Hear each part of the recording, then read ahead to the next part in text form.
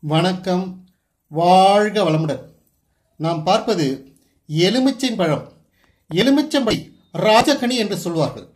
எல்லா எலுமிச்சையும் ராஜகனி ஆவதில்லை. நீங்கள் பார்க்கலாம். இந்த எலுமிச்சை பழத்தின் மேலிருந்து கீழ் ஒரு புடைப்பு இருக்கும். இந்த புடைப்பானது நீங்கள் பாருங்கள்.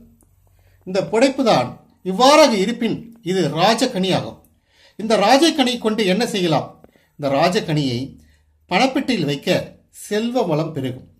அது மட்டுமல்ல மாந்திரிகத்துக்கு இது நல்ல சிறப்பான பலனை தரக்கூடியது இந்த ராஜகனி.